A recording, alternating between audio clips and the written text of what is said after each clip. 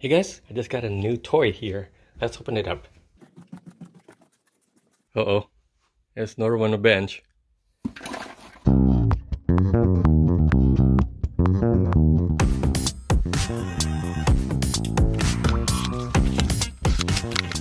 There's nothing in here. Just air. but this is what I ordered. For those of you unfamiliar with the ESP32 and the ESP8266, this is pretty amazing stuff. There's so much power in here and you can run Arduino code or you can run uh, MicroPython and there's this thing called uh, UI Flow that I'm not familiar with. But look how tiny this little thing is. And look at that. It's like there's built-in documentation. So I think it has like 8 GPIO pins. It has an accelerometer or something and it has of course a screen. So let's fire it up. It's my first Arduino with a USB-C. Thankfully it comes with a cable, short as it may. So that plugs in right there. I think the other one is a Groove connector, which I don't have any uh, Groove devices. But uh, yeah, I mean, it's like this is pretty cool. And uh, let's see, oh, there's some buttons here too. A button here and a button there.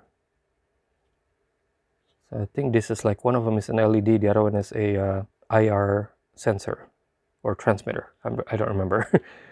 so let's hook it up, see what we can do with it. So I installed the board manager for this guy. There's really good instructions. I'll link it in the description. And so I got it such that it's actually working now. Uh, I'm not using any of the sensors or anything, but they might un unplug it. it. This thing has a battery, so it's actually independent. Uh, it's like, I don't know where to put the battery in there. Probably not very big. It's actually serving as a website. And I can turn it on and off using Wi-Fi.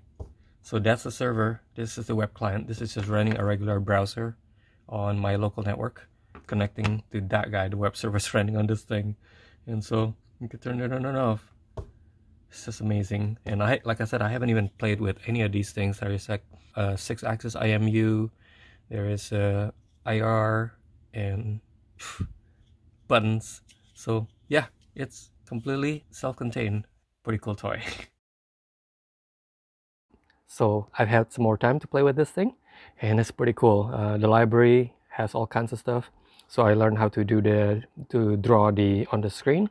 The screen is only 80 by 160, but as you can see, it's pretty cool. And I learned how to read the accelerometer. So as I lift this up, it gets smaller. And as I tilt this way, it changes the number of nodes.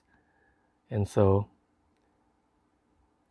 I think it's pretty cool. And then I also had uh, to change the color. You press this button and it just picks some random color. Can't really see it too well in the video, but that's like some sort of red and it just like changes color. Oh, by accident, I also learned that there's a temperature sensor in there. When you read the accelerometer and the gyroscope, it also report temperature for some reason. So yeah, had a lot of fun. I'll talk to you guys later. Bye.